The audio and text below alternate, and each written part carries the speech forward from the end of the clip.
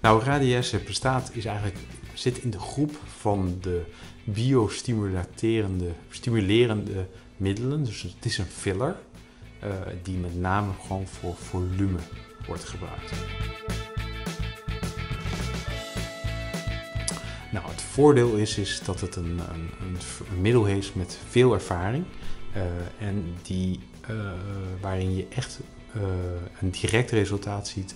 En met name ook gebruik maakt van het collageen vormende vermogen van de huid. Dus het houdt ook wat langer aan dan bijvoorbeeld een andere filler.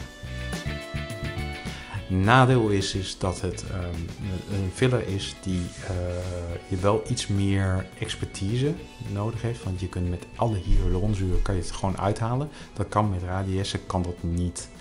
Um, een ander nadeel is, is dat het soms uh, dat je wel echt mensen moet hebben die collageen kunnen kunnen aanmaken. Dus wat oudere mensen of bijvoorbeeld mensen die heel veel roken of onder de zonnebank uh, zitten, uh, te vaak onder de zonnebank zitten, ja, die kunnen, daar kan het zijn dus dat die minder goed reageren op radiesse.